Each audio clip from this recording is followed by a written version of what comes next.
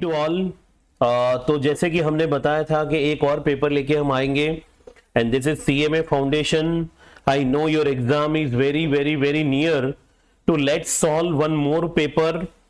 और ये भी वही है आपका सेम एग्जामिनेशन पेपर है and this is also of hundred marks okay और जिन जिन लोगों के पास फिजिकल पेपर है please be in the physical paper और नोटबुक के साथ भी बेटा रेडी रहिएगा कि जहां जहां पे हम लोग वर्किंग करेंगे जहां जहां पे जो भी जरूरत होगी वर्किंग की अगर वर्किंग कोई छोटा मोटा है वहां पे आ सकता है तो ठीक है अगर कोई बड़ा वर्किंग है तो नोटबुक पेन के साथ please be ready I hope all of you are ready online आपके पास आवाज आ रहा है आई होप यस और नो श्योर ओके चलो लेट स्टार्ट ओके चलो कुछ बच्चों ने इसका एग्जाम ऑलरेडी दिया हुआ है और जो बच्चों ने इसका एग्जाम ऑलरेडी दिया है जस्ट चेक कि आपका आंसर राइट है या नहीं जब आपको पेपर मिलेगा तो चेक कर लेना कि आपको कितना मार्क आया बराबर और हमनी क्वेश्चन देखो कई बार है ना बच्चे खुश होते हैं कि यार सर मिलेगा तो दो मार्क मिलेगा तो मैं तो बोलता हूँ जाएगा तो कितना जाएगा दो मार्क जाएगा तो उसका मतलब है कि एक एमसीक्यू में अगर एक साथ में दो मार्क आता है तो जाता भी दो मार्क राइट चलो C A S dash stand for the classification please be in the question जितने भी लोगों के पास पेपर है वो पेपर में रहिए फिजिकल पेपर है तो और वहां पे टिक मार्क करिए आई हो सबके पास फिजिकल पेपर है यस और नो हा या ना वेल पेपर ओके चलो C S cost accounting standard बराबर C A dash stand for the classification of cost one stand for the classification of cost cost accounting standard one में लिखा है क्लासिफिकेशन ऑफ कॉस्ट मतलब cost जो अलग अलग हिस्सों में डिवाइड हुआ है वो वहां पे बताया गया है राइट और ये देखो कॉस्ट अकाउंटिंग स्टैंडर्ड जो है ये आपको हर हालत में पढ़ना है बराबर और आप ये देख लो कि पुराने पेपरों में कितनी बार ये पूछा गया है जितनी बार पूछा एटलीस्ट उतना भी याद रखो क्योंकि मुझे भी पता है कि एक साथ में one two three four five six seven eight nine ten up to अगर ट्वेंटी ट्वेंटी फाइव है तो वो हो सकता है याद ना रहे तो जितना पास में पूछा है उतना भी एटलीस्ट याद रख लीजिए चलो factory cost is equal to ये कहां से आ रहा है कॉस्टिंग का क्वेश्चन है कॉस्टशीट का क्वेश्चन है बराबर okay factory cost is equal to dash cost plus factory overhead बताइए चलो it is prime cost yes prime cost plus factory overhead right चलो ओके okay, तो ये कॉस्टशीट से है कॉस्टशीट का फॉर्मेट बेटा सुनो हर हालत में आपको आना चाहिए कॉशीट का फॉर्मेट मुझे यकीन है कि सबको कॉशीट का फॉर्मेट आता है और प्रैक्टिकल क्वेश्चन अभी भी यही अगर दो चार सॉल्व करना है तो कर सकते हो okay over which of the following cost management is likely to have least control इनमें से कौन से कॉस्ट के ऊपर मैनेजमेंट का बहुत ही कम कंट्रोल होता है देखो बहुत सारे कॉस्ट ऐसे होते हैं जो कंट्रोलेबल होते हैं और बहुत सारे कॉस्ट ऐसे होते हैं जो कंट्रोलेबल नहीं होते कुछ खर्चे ऐसे जिसको आप कंट्रोल कर सकते हो कुछ खर्चे ऐसे जिसको आप कंट्रोल नहीं कर सकते हो क्या लगता है आपको wages cost building insurance cost machinery breakdown cost और एडवर्टाइजमेंट कॉस्ट बोलिए this is over the which of the following cost management is likely to have least control इनमें से कौन से कॉस्ट के ऊपर मैनेजमेंट का कंट्रोल एकदम लिस्ट है why why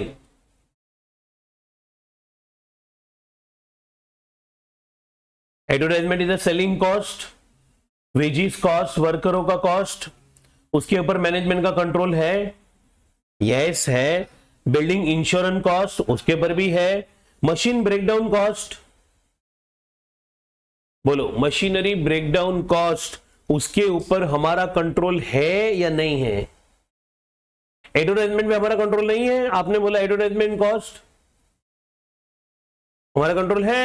हमको जितना ऐड करना हो उतना ऐड कर सकते हैं लेकिन एक बार मशीन अगर खराब हो गया आपने जापान से लिया फ्रांस से लिया अगर ऐसा कोई फॉरेन से मशीन लिया तो machinery breakdown cost okay variable costs are fixed guys variable costs are fixed per unit variable costs are fixed per unit are you sure और फिक्स कॉस्ट कैसा फिक्स होता है फिक्स कॉस्ट टोटल में fix होता है और variable cost किस में फिक्स होता है पर यूनिट में फिक्स होता है बोलो वेरिएबल कॉस्ट किस में फिक्स होता है पर यूनिट में और फिक्स कॉस्ट किस में फिक्स होता है टोटल अमाउंट में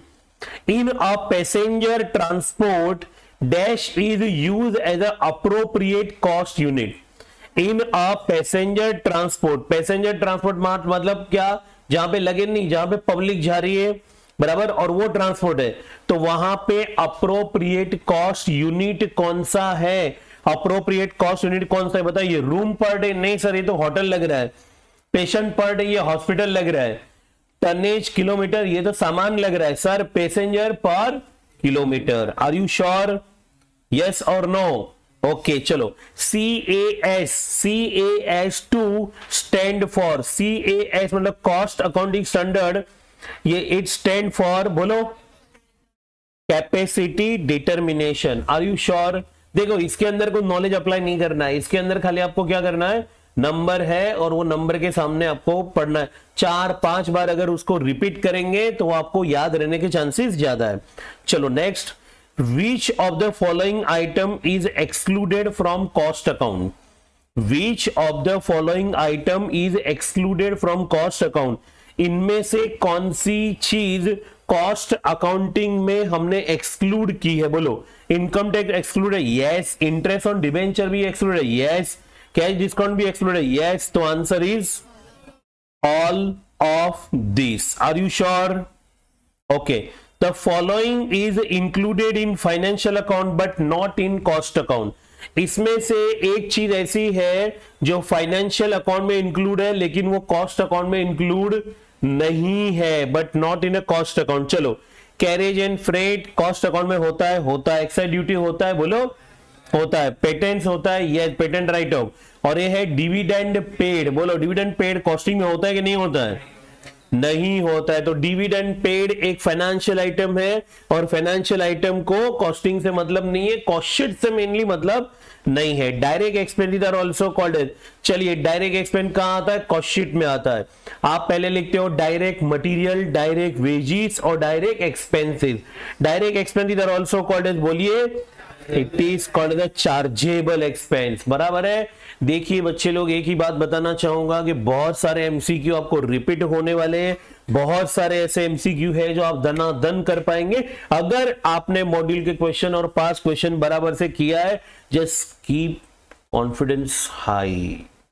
last के चार पांच दिन में ना प्रिपरेशन से ज्यादा होता है आप अपना कॉन्फिडेंस कभी ना खोए जो किया है उसके ऊपर भरोसा रखो अगर जो नहीं किया है ना उसके बारे में मत सोचो क्योंकि क्या है आपने क्या सोचा है अरे यार शायद मेरा वो एक थोड़ा सा टॉपिक बाकी है फोकस अगर जो बाकी है उसके ऊपर गया तो प्रॉब्लम बढ़ेगा फोकस जो किया है उसके ऊपर करो जिंदगी में जो हमारे पास होता है उसकी कदर करनी चाहिए कि जो नहीं होता है उसके लिए रोना चाहिए तो जो होता है उसकी कदर करो exactly it is same formula ठीक है क्योंकि लास्ट के चार पांच दिन है तो अभी यहां पे वैसे भी आप कोई बहुत बड़ा चेंजेस कर नहीं सकते हो राइट रॉन्ग अंडरस्टैंड चलो which cost system description applies to the manufactured of to the manufacture of 20 engraved doors for the new house at a golf course क्या लिखा है which cost system description apply कौन सी cost system की description apply होती है कहां पे जहां पे हमें क्या मैन्युफैक्चर करना है मैन्युफैक्चर ऑफ 10 20 एनग्रेव्ड डोर्स कुछ doors engrave twenty engrave doors manufacture करना है for a new club house एक नया क्लब हाउस के लिए एट अ गोल्फ कोर्स उसके लिए करना है तो यहां पे कौन सी कॉस्ट सिस्टम डिस्क्रिप्शन अप्लाई होगी बोलो It is a contract costing, process costing, batch costing और service costing. It is a batch costing. देखिए वापस से मैं बोल रहा हूँ costing एक ऐसा सब्जेक्ट है कि जहां से MCQ एक या दो MCQ आपको थोड़ा सा डिफिकल्ट पूछेंगे लेकिन क्योंकि आपको नेगेटिव मार्किंग नहीं है कोई भी आंसर फाइनली लिख के आना है आर यू श्योर मेहरबानी करके एक या दो एमसीक्यू की वजह से अपना दिमाग खराब ना करें प्लीज अंडरस्टूड और कुछ चीजें कॉस्टिंग में ऐसी है कि जो आपको हर हालत में आप मान लो एक तरीके से आपको रट्टा मार के जाना है लेकिन ऐसे एमसीक्यू बहुत कम है लेकिन कुछ तो होगा आठ से दस एमसीक्यू तो आपको इतना मिल ही जाएगा चलिए कैलसी ले लो अभी सब लोग subscription received during the year Rs 50,000 subscription received during the year. Rs 50,000 subscription outstanding at the end of the year 8,000. subscription outstanding at the beginning of the year 6000 net income from subscription will be subscription से हमारी net income कितनी होगी देखिए net income कितनी होगी उसका मतलब है कि profit and loss account it means income and expenditure account में कितना जाएगा देखिए subscription received during the year का मतलब होता है ये receipt and payment account का subscription दिया है तो कैलसी ले लो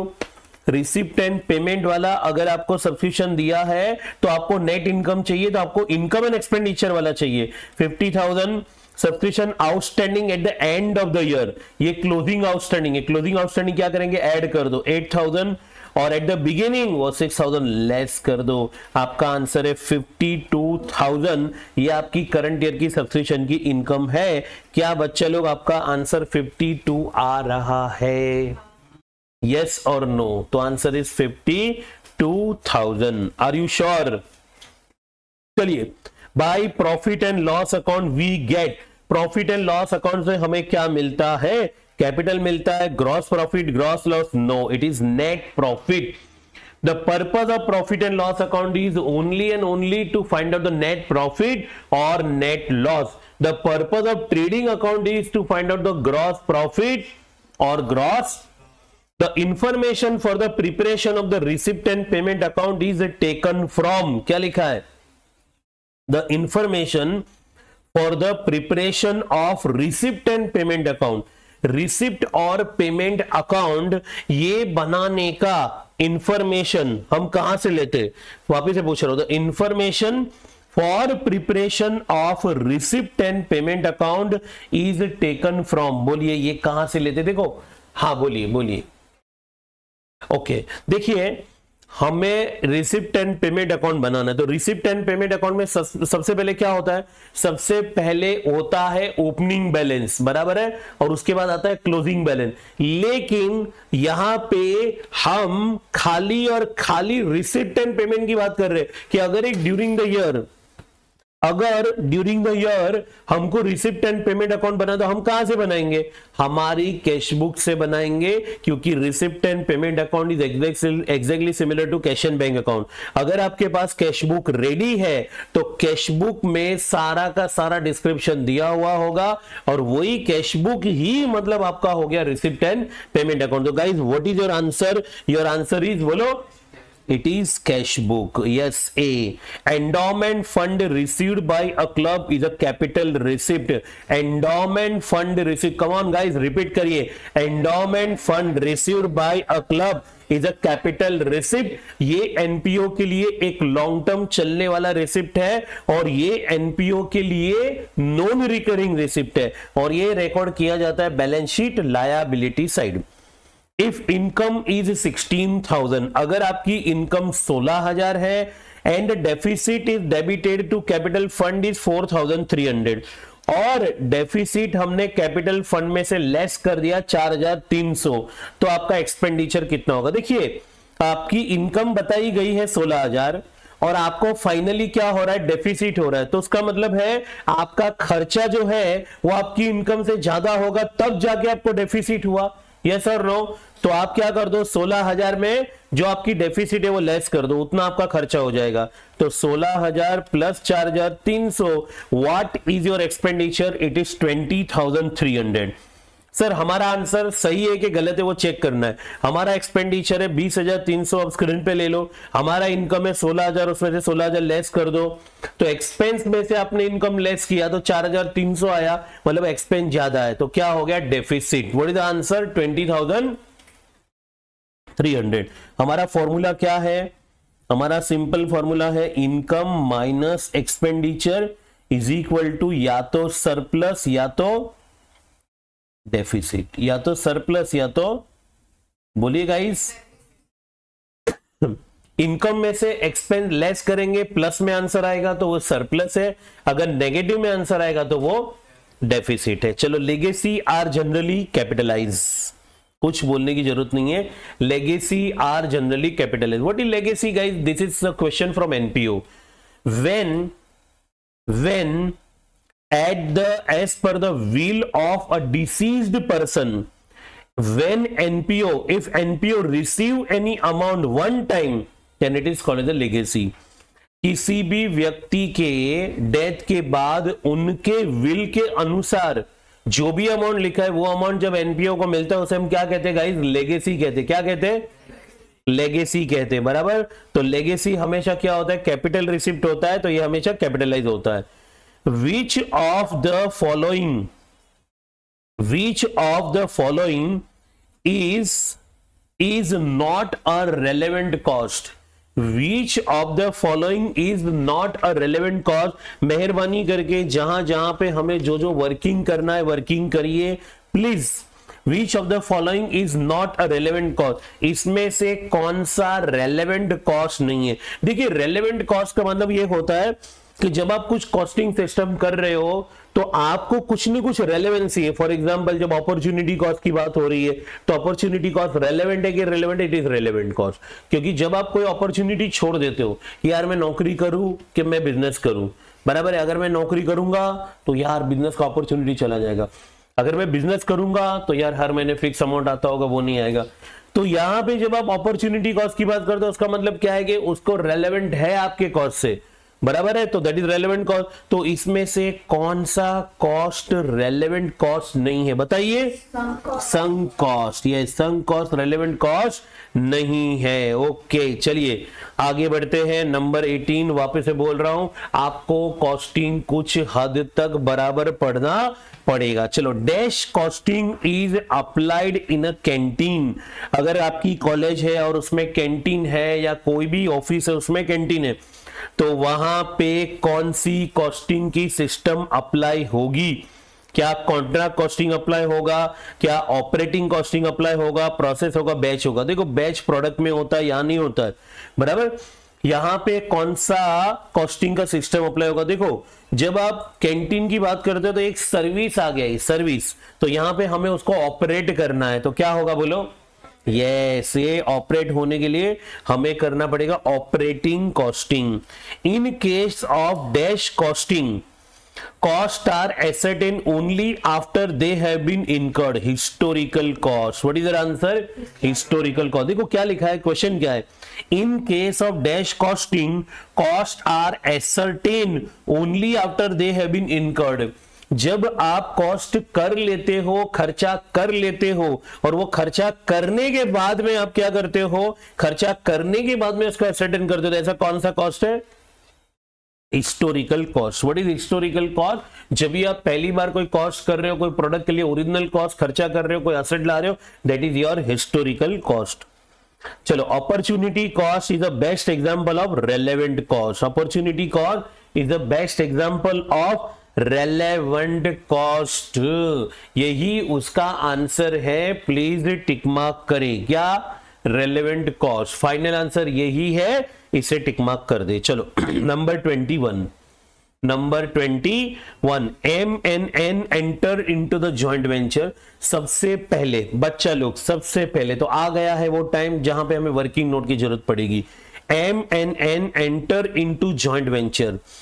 M और एन जॉइंट वेंचर में एंट्री ले रहे हैं where M supply the good M ने गुड सप्लाई किया बारह हजार का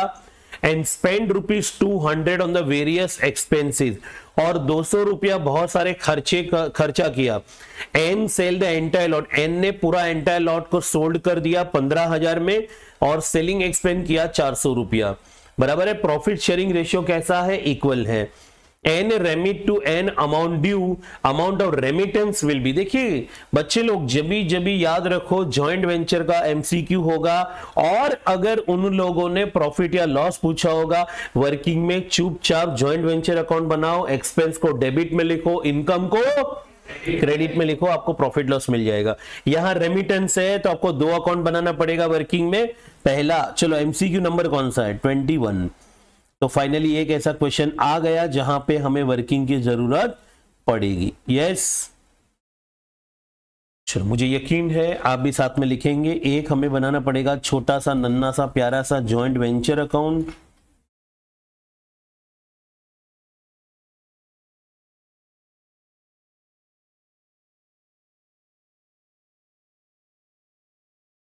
और दूसरा समझ लो आप एम की बुक में हो आप एम की बुक में हो तो मैं कौन सा अकाउंट बनाऊंगा एन अकाउंट बनाऊंगा गाइस कौन सा अकाउंट बोलो एन अकाउंट चलो एम और एन ज्वाइंट वेंचर में एंट्री ले रहे where M supplied good M ने गुड सप्लाई किया बारह हजार का एम ने गुड सप्लाई किया तो एम क्या एंट्री करेगा एम ने गुड सप्लाई किया to joint venture to goods बारह हजार बराबर बाद में उसने दो सौ रुपया खर्चे पे स्पेंड किया टू कैश इन में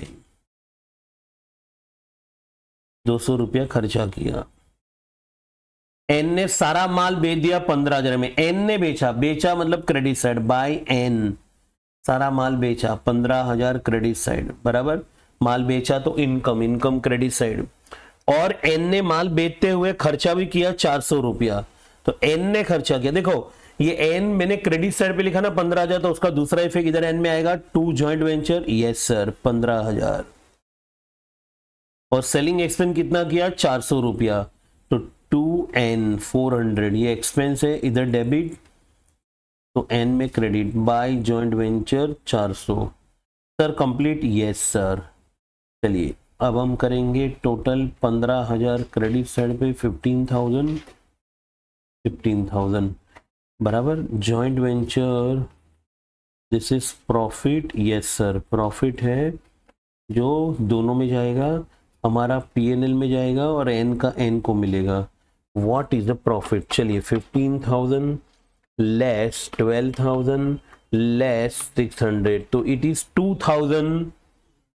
four hundred ये आपको प्रॉफिट अगर यही एमसीक्यू प्रॉफिट वाला होता तो चौबीस सौ होता इसी में पूछा होता कि दोनों का शेयर कितना है तो वो 1200 1200 होता बराबर तो एन का प्रॉफिट एन में डाल दो बाय जॉइंट वेंचर 1200 चलो अमाउंट का रेमिटेंस कितना होगा तो आंसर रेडी है ये आया पंद्रह हजार इधर भी पंद्रह हजार and fifteen thousand minus one thousand six hundred it is thirteen thousand four hundred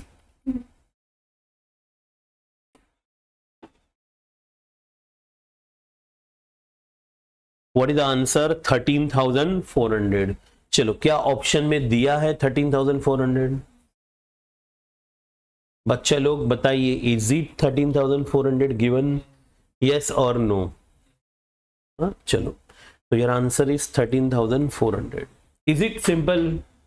इसी में मैंने तीन एनसीक्यू बता दिया अगर ज्वाइंट वेंचर का प्रॉफिट पूछा होता तो it is two thousand four hundred अगर एक कोई भी एक कोवेंचर का शेयर पूछा होता तो 1200 और रेमिटेंस पूछा है तो 13,400 देखो क्वेश्चन एक है लेकिन एमसीक्यू बहुत सारे बनेंगे चलो next mister P sold goods to mister Q for sixty thousand no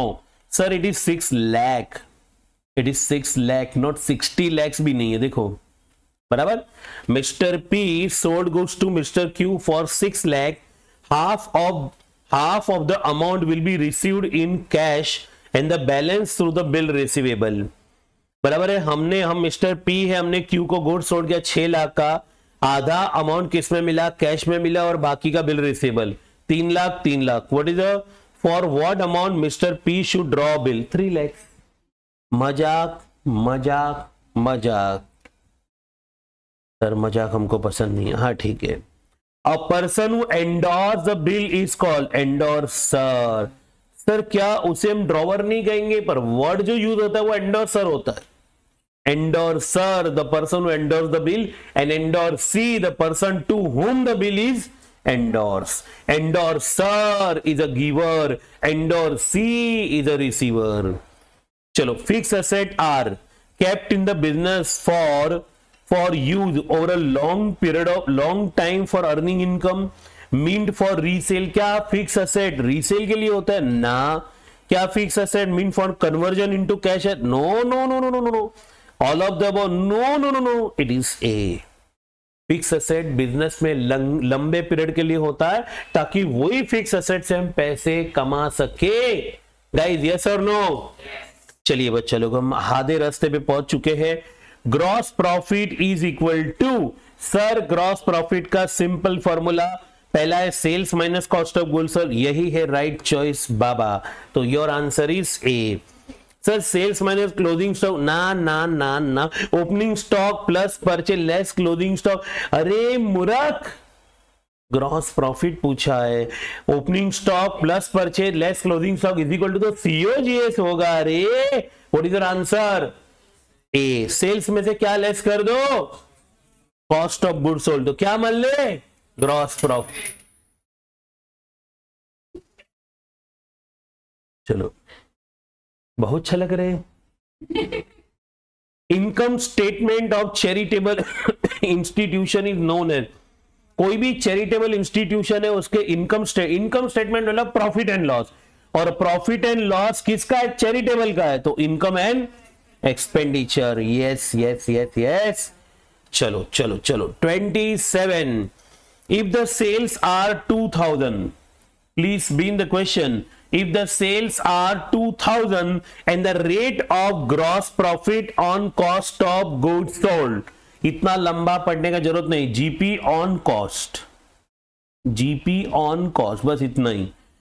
cell कितना है अपना दो हजार का सेल है जीपी कितना है बोलो जीपी पच्चीस टका लेकिन जीपी पच्चीस टका कॉस्ट पे के सेलिंग मैडम रुकिए जरा हम आ रहे हैं वहां पे तो रुकिए जरा बराबर बोलो जीपी कितना है जीपी गाइस जीपी कितना है बताइए जीपी कितना है madam GP GP twenty five percent on cost के on selling price on cost then the cost of goods sold will be बड़ा ही आसान है रोचक क्वेश्चन है देखिए दिस इज योर सेल्स 2000 बराबर यह आपका सेल है जो कितना है 2000 है सेल में से अपने को क्या लेस करना होगा जीपी लेस करना होगा तो अपने को सीओजीएस मिलेगा और जीपी कितना है guys what is GP man GP है guys 25 percent on cost cost पे 25 टका मतलब वन फोर्थ ऑन कॉस्ट अगर ये वन फोर्थ ऑन कॉस्ट है मतलब one fifth on selling price है जीपी आपका क्या है one fifth on selling price selling price का ट्वेंटी परसेंट आपकी सेलिंग प्राइस है दो हजार का 20 परसेंट मतलब कितना हुआ 400 और जब 400 निकलेगा तो आपका सीओजीएस आ जाएगा 1600 your COGS is one thousand six hundred tell me what your return in the exam आपने एग्जाम में क्या लिखा है बताइए मैडम आप क्या लिखे हैं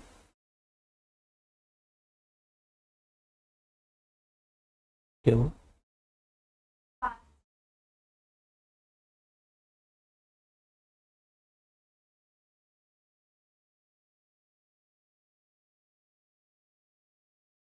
हंसने के अवसर नहीं है प्लीज अपने अंदर के चैंपियन को जगाओ परिस्थिति कितनी भी खराब हो लड़ने वाले बन जाओ please be a fighter and whenever you feel that something is going wrong just take close your eyes just take a long breath and remember that you have a big champion inside please there is no substitute to hard work ठीक है simple बात है हर question को निचोड़ो question में पूछा क्या है हर एक क्वेश्चन के अंदर जरा चेक करो पूछा क्या है प्रॉफिट नहीं पूछा है आपने सीधा सीधा 2000 का 25 टका निकाल दिया और आप बता रहे हो कि पांच सौ रुपया अरे मेरे भाई यहाँ पे हमें प्रॉफिट नहीं पूछा है हमें पूछा है सीओजीएस कितना है what is the formula sales minus GP is equal to COGS sale दिया है उसमें तो हमें क्या लेस करना है मैडम क्या लेस करना है जीपी लेस करना है कौन गाइस क्या लेस करना है जीपी लेस करना है जीपी कितना दिया है twenty five percent on cost दिया है पच्चीस टका कॉस्ट का लेकिन दो हजार कॉस्ट थोड़ी है दो हजार तो सेलिंग प्राइस है अगर प्रॉफिट टेबल आपने पढ़ा है तो आपको पता है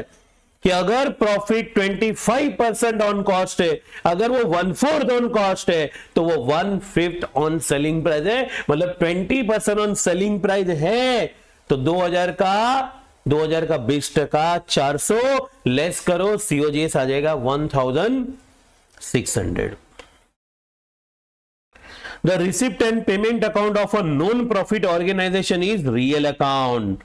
Is real account. Receipt and payment account. Come on guys. Receipt and payment account. Real account. Receipt and payment. Real account. Receipt and payment. Income and expenditure. Nominal account. Income and expenditure. Nominal account. Income and expenditure. Nominal account चलिए तो हम 29 पे आ पहुंचे the capital of a non profit organisation non profit organisation को capital generally हम लोग क्या बोलते हैं equity no cash fund no finance reserve no we call it as a accumulated fund मतलब capital fund what we call it as बोलो yes yes. चलो if rupees 1500 was outstanding at the beginning of the year towards the subscription and 10000 जरा ध्यान दे rupees if rupees 1500 was outstanding at the beginning of the year 1500 outstanding at the beginning मतलब ये है opening outstanding ये है opening outstanding towards the subscription and rupees 10000 is received during the year underline करो 10,000 is received during the year with 2,500 still outstanding at the end of the year 2,500 पे underline करके लिखो closing outstanding चलिए तो 1,500 आपका है ओपनिंग आउटस्टैंडिंग 2,500 आपका है closing outstanding during the year आपको सब्सक्रिप्शन कितना मिला how much you receive 10,000 during the during the year आपको सब्सक्रिप्शन कितना मिला 10,000 बराबर है लिखा है अंदर मेरे में तो टेन थाउजेंड है मुझे नहीं लग रहा है कि किधर इलेवन थाउजेंड लिखा है subscription received ten thousand during the year आगे सवाल है okay now what is the question still outstanding at the end the amount to be taken to receipt and payment account receipt and payment account में हम कितना amount दिखाएंगे yes how much amount we will show in receipt and payment account yes okay या okay yeah okay yeah how yeah yeah how how much okay how much okay how much yeah shirar how much yes madam आप खड़े हो जाइए बोलो मुझे खाली समझ लीजिए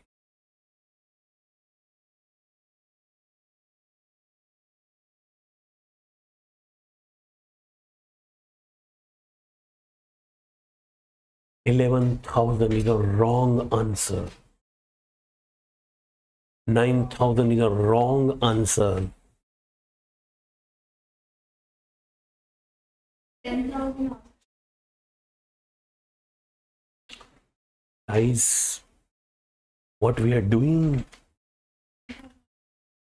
मोरक के सरदार पड़े हैं मैडम बैठिए पागल लोग इधर लिखा हुआ है कि ड्यूरिंग द ईयर सब्सक्रिप्शन आपको कितना मिला टेन थाउजेंड मिला और जो ड्यूरिंग द ईयर मिलता है please don't touch the calci during the year subscription कितना मिला तो रिसिप्ट एंड पेमेंट में ड्यूरिंग द ईयर जितना मिलता है वही तो आता है ten thousand receipt and payment account क्या रिकॉर्ड करता है जो ड्यूरिंग द ईयर मिला वही तो रिकॉर्ड करता है कंफ्यूज दो अमाउंट दिया नहीं कि एडलेस चालू कर दिया खोपड़ी बंद ये बाज क्या पूछा है अगर यही टेन थाउजेंड में ओपनिंग आउटस्टैंडिंग लेस करके क्लोजिंग आउटस्टैंडिंग ऐड करो तो वो इनकम एंड एक्सपेंडिचर का अमाउंट आएगा पर वो लोग ने इनकम एंड एक्सपेंडिचर नहीं पूछा है गुगली है इट्स अ शेनवोन दो टांगों का बीच में से गया स्टंप उखड़ गया क्या पूछा है सवाल देखे मेरी सभी लोगों से अनुरोध है it is my humble request to each and every one who are listening please understand question सवाल को देखो कैलकुलेशन करना ही नहीं है देर इज नो कैलकुलेशन मैंने इसलिए पहले ही बोला टेन थाउजेंड को आप अंडरलाइन करो कि ten thousand receive during the year receipt and payment क्या रिकॉर्ड करता है receive during the year ten thousand sir तो वो पंद्रह सौ पच्चीस सौ मामू बनाने के लिए दिया है और आप मामू बन भी गए your answer is ten thousand क्या आप सीएमए इंस्टीट्यूट को कम समझ रहे हो कि ये आपको मक्खन की तरह क्वेश्चन देगा नहीं नहीं नहीं नहीं नहीं हम तो तुमको तीन सौ ही देंगे आओ बेटा चलो मक्खन खाओ एक किलो मक्खन sorry yes man any doubt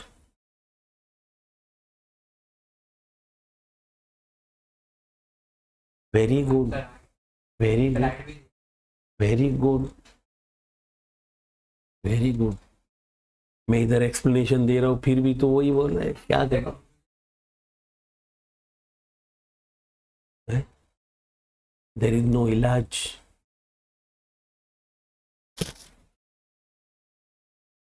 चलो अगर यही होता कि रिसिप्ट एंड पेमेंट की जगह पे इनकम एंड एक्सपेंडिचर होता तो ग्यारह हजार बराबर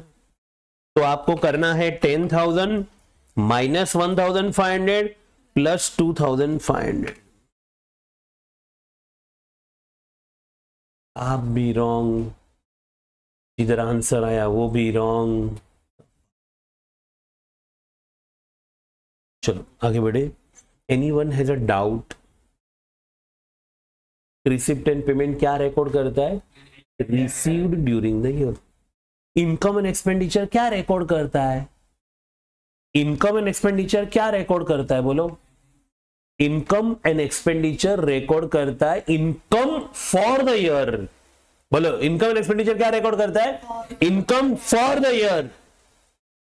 और रिसिप्ट एंड पेमेंट क्या रिकॉर्ड करता है income receive during the year तो क्या पूछा है लोग ने सवाल ये है कि amount to be taken to receipt and pay receipt and payment कौन सा अमाउंट लेने का दस हजार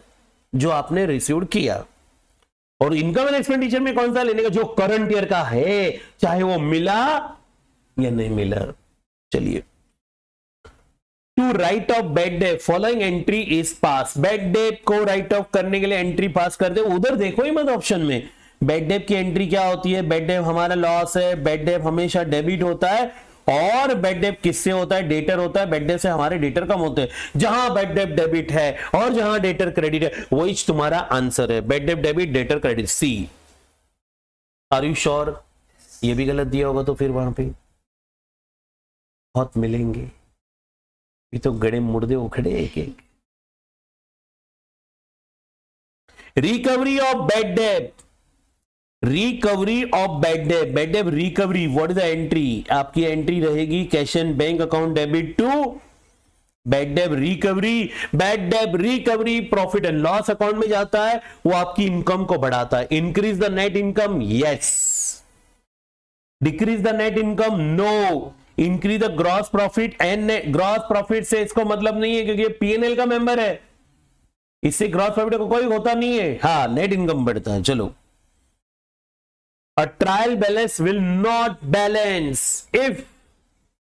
एक ट्रायल बैलेंस आपका टेली नहीं होगा कब नंबर एक correct entry is posted twice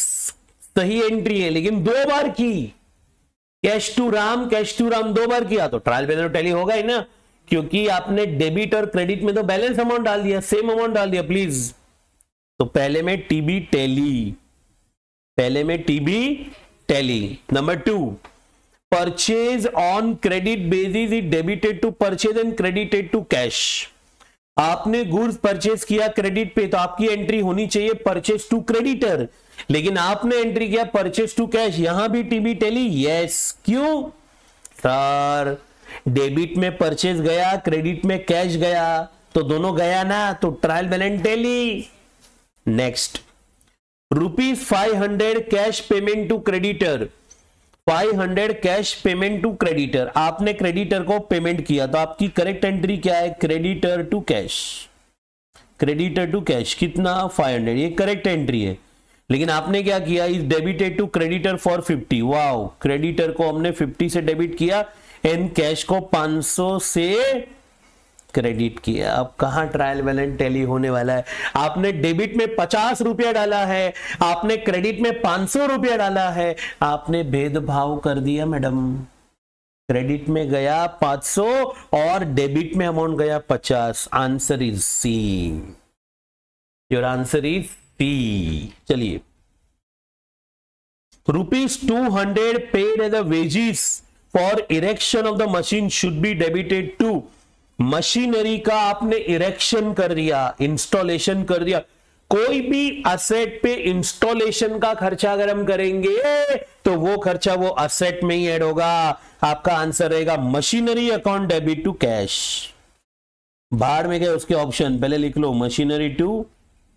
your answer is machinery debit है ऑप्शन यस सर बी भाई साहब आपने कौन सा आंसर लिखा है yes man you have oh great bad debt is confirmed loss profit ना रेवेन्यू ना none of the no no no no it's loss A and B purchase a piece of land for forty thousand चालीस हजार का जमीन का टुकड़ा खरीदा and sold it for sixty thousand और साठ हजार में बेच दिया 2021 की बात है originally A has contributed 24,000 A ने कंट्रीब्यूशन कितना दिया चौबीस हजार बी ने कितना दिया सोलह हजार what will be the profit on venture venture पे कितना प्रॉफिट हुआ रे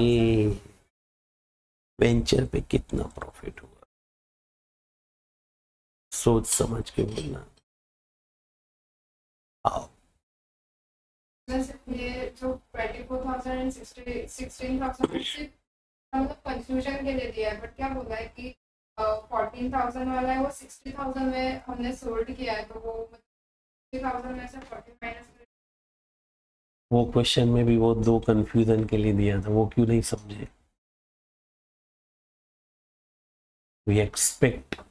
the perfectness capital capital को मतलब प्रॉफिट ढूंढने के लिए क्या चाहिए sale minus purchase sixty minus forty twenty चलिए नेक्स्ट थर्टी सेवन प्रॉफिट ढूंढने के लिए खाली दो ही चीज चाहिए एक्सपेंस चाहिए और इनकम चाहिए उससे कैपिटल का जरूरत नहीं हाँ स्टेटमेंट ऑफ अफेयर्स मेथड है तो बात अलग है फिर भी आंसर तो वही आएगा आंसर वही आएगा 37 A for joint venture with B purchase goods costing rupees two lakh A ने बी के साथ जॉइंट वेंचर चालू किया है और दो लाख का गुड्स परचेज किया B sold 80 percent of the goods for two lakh fifty thousand और बी ने अस्सी प्रतिशत गुड्स ढाई लाख में सोल्ड कर दिया wow balance of the goods were taken over by B डोबा बोलो balance of the goods were taken over by at cost less twenty five percent find out the profit on the venture simple tips दे रहा हूं जब भी जब भी profit या loss ढूंढना है जॉइंट वेंचर अकाउंट बनाओ यहां पे नहीं होगा set MCQ number thirty seven working में आ जाओ हमें क्या करना है ए और बी है चलो जॉइंट वेंचर अकाउंट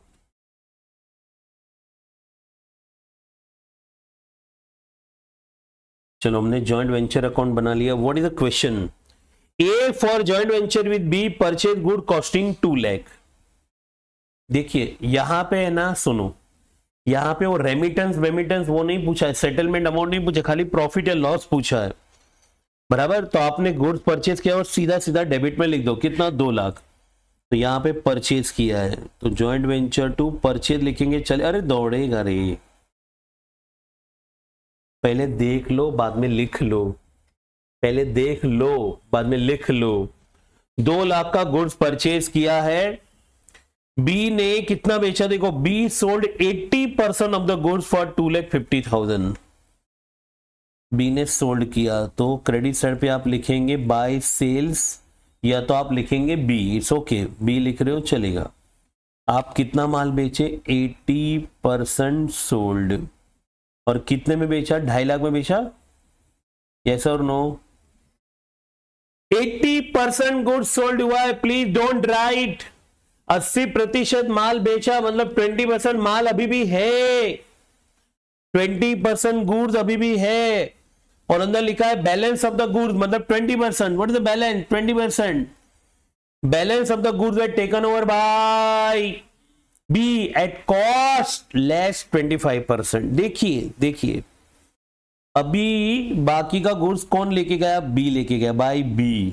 तो मैं लिखूंगा टेकन ओवर देखिए बड़ा ही आसान है आपने गुड्स परचेस कितने में किया दो लाख तो आपकी कॉस्ट दो लाख ही है ना what is your cost two lakh what is your cost आपने कितना प्रतिशत गुड़ बेच दिया आपने 80 परसेंट बेचा तो कितना गुड़ बच गया 20 परसेंट तो कॉस्ट का 20 टका निकालो ये आपका दो लाख है बराबर मैंने लिखा है दो लाख इंटू कॉस्ट का बीस टका एटी परसेंट अगर आपने बेचा तो ट्वेंटी परसेंट बचा एटी परसेंट बेचा तो ट्वेंटी परसेंट बचा तो two lakh into twenty percent ये आपका आएगा चालीस हजार और उसमें टेकन ओवर कितने में किया कॉस्ट लेस ये कॉस्ट है less twenty five percent understand तो आपका देखो वापिस से मैं बोल रहा हूं दो लाख उसमें से 80 परसेंट गया तो कितना बच गया 20 परसेंट दो लाख का 20 परसेंट तो जो माल बचा है उसकी कॉस्ट है चालीस हजार और वो टेकन ओवर कितने में कर रहा है कॉस्ट का पच्चीस टका लेस में into twenty five percent less तो वो टेकन ओवर कितने में कर रहा है थर्टी थाउजेंड में टेकन ओवर कर रहा है खत्म हो गया two lakh eighty two lakh eighty eighty thousand profit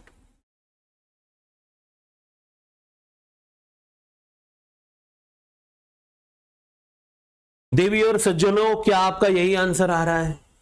क्या आपने यही लिखा है हाँ तो सब बोलते हैं हमें पता नहीं आपने बोला ठीक है और योर आंसर एटी थाउजेंड आप क्या लिखे हो मैडम ओ oh, ग्रेट शाबाश done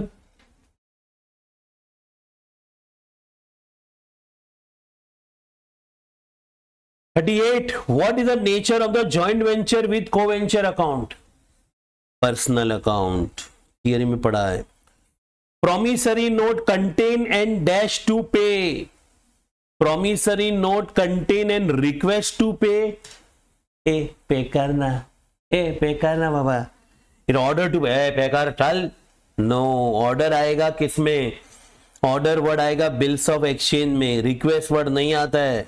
ownership is ownership to pay no sir undertaking और promise to pay it's answer is A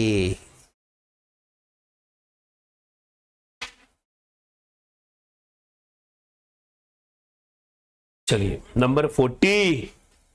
number forty A purchase goods costing forty two thousand five hundred B sold goods of forty thousand at fifty thousand balance of the goods were taken over by A at the same gross profit percentage as in the case of sale amount of goods taken over will be goods taken over कितना रहेगा चलो सुनिए A purchase goods costing forty two thousand five hundred A ने कितने का माल खरीदा ए ने माल खरीदा बयालीस हजार पांच सौ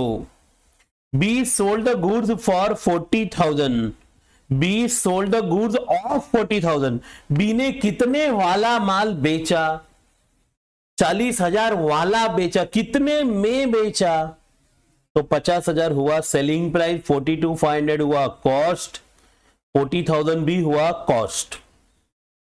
बैलेंस गुड्स कितना बचा चलो what is the balance goods two thousand five hundred बयालीस हजार पांच सौ की कॉस्ट वाला गुड्स था चालीस हजार की कॉस्ट वाला गुड्स हमने बेच डाला कितने की कॉस्ट वाला माल बच गया बोलो कितने की कॉस्ट वाला माल बच गया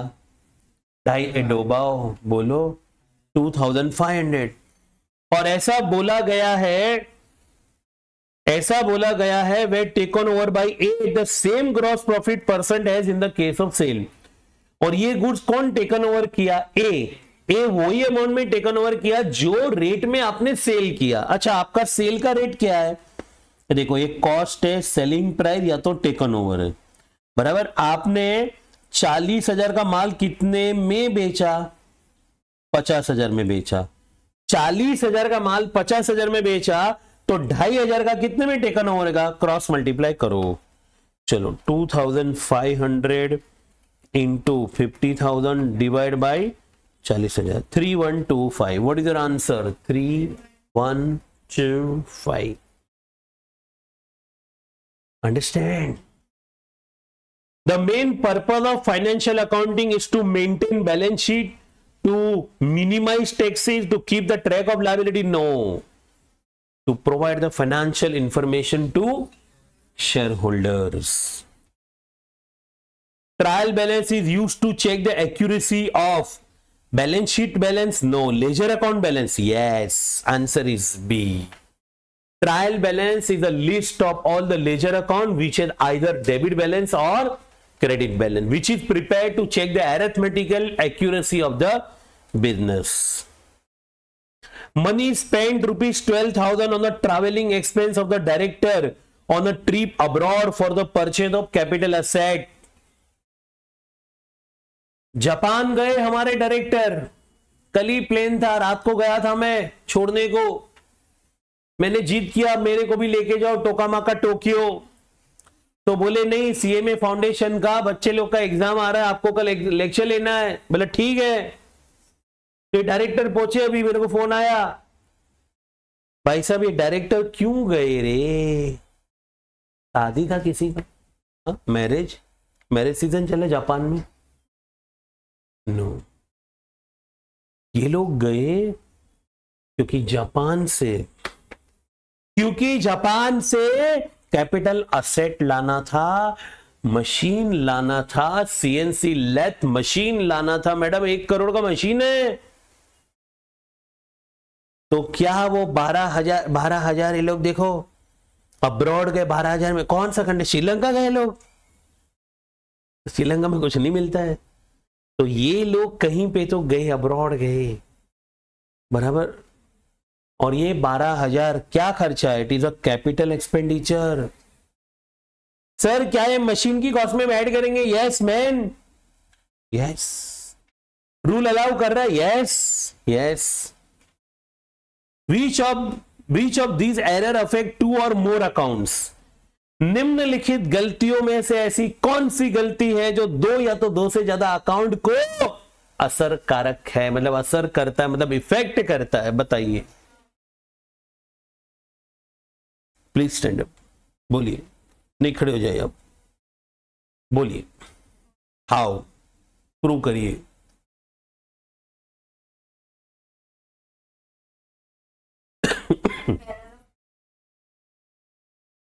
हम नंबर वन पे जाएंगे एरर ऑफ कंप्लीट ओमिशन जब कोई कंप्लीट ओमिशन होता है उसका मतलब है कि आपका अगर एक एंट्री है समझ लो bank account debit to Ram account तो अगर आपने ये पोस्टिंग नहीं किया तो बैंक अकाउंट को भी अफेक्ट हो गया राम अकाउंट को भी हो गया दो अकाउंट हो गया यस एरर ऑफ प्रिंसिपल आपको एंट्री करना था मशीनरी रिपेयर्स टू कैश लेकिन आपने कर दिया machine to cash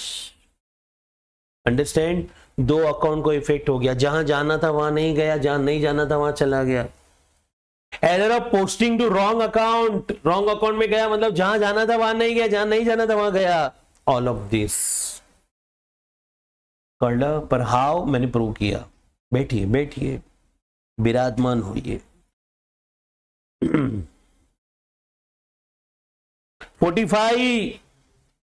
purchase price of the machine is at lakh ninety sir सवाल क्या पूछा है calculate the amount of annual depreciation under the straight line चलो परचेज प्राइस मशीन कितने में लिया at lakh ninety thousand screen पे ले लो आठ लाख नब्बे हजार प्लस फ्रेट एंड कार्टेज लेना चाहिए हाँ सर सात हजार अंदर इंस्टॉलेशन चार्जेस मैडम लेना चाहिए हाँ सर अंदर सर इंश्योरेंस चार्ज लेना चाहिए नहीं सर क्या रेसिडेंट लेस होगा हाँ forty thousand less at lakh eighty seven thousand divide by उसका जिंदगी पांच साल answer is a 177 400 depreciation account is nominal account depreciation account is nominal which minal nominal original cost is 1 lakh 50000 residual value is 10000 depreciation for the third year at 10% per annum under the wdb method wow 1 lakh 50000 into ten percent पंद्रह हजार less करो W आया one lakh thirty five into ten percent तेरह हजार पांच सौ less करो W D one twenty one hundred into ten percent third year बारह हजार एक सौ पचास B sir residual value no side पे रह गया वो चलो next bank has directly paid two two five zero for rent as per the standing instruction हमने बैंक को बोला था बैंक हमारे लिए भाड़ा भर तो क्या बैंक ने अपने अमाउंट से भरा ना हमारे खाते से भरा रे in B R S starting with passbook overdraft अगर पासबुक ओवरड्राफ्ट से चालू करेंगे तो मैं यहाँ पे छोटा सा नन्ना सा एक पासबुक बनाया हूं और पासबुक में गाइज पासबुक में ओवरड्राफ्ट कैशबुक में ओवरड्राफ्ट मतलब क्रेडिट साइड तो पासबुक में ओवरड्राफ्ट मतलब डेबिट साइड तो मैंने यहां पे क्या किया राउंड किया प्लस मेरा इधर ही चाहेगा तो यहां पे क्या हुआ what is the question guys question है बैंक ने डायरेक्टली 2250 रेंट हमारे लिए पेड कर दिया बैंक ने पेड किया मतलब पासबुक में पेमेंट और पासबुक में पेमेंट मतलब डेबिट साइड 2250 बराबर और बाईस